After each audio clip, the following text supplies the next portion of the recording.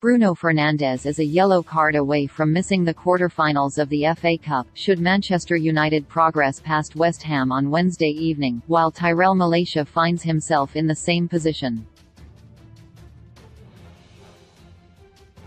Competition rules state that players from clubs who enter from the third round onwards will serve a one-match suspension if they pick up two cautions.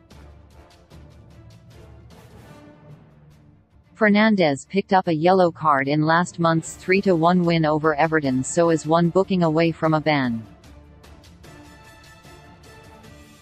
Meanwhile, Malacia will be banned if he picks up a caution against West Ham after going into the referee's notebook during the 3–1 win over Reading in the last round of the FA Cup.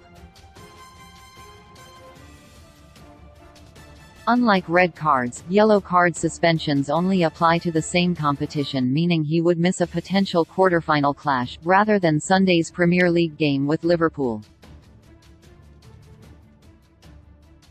Yellow cards are wiped at the quarter-final stage. Fernandes has already missed one United match through yellow card accumulation, having to sit out November's 3–1 Premier League away defeat to Aston Villa after amassing five yellow cards during the first half of the campaign.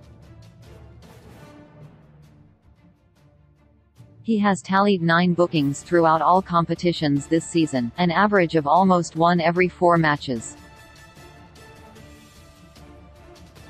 Malacia has struggled for regular minutes of late but could be given the nod against the Hammers with Luke Shaw Dowd having played the whole of Sunday's Carabao Cup final win.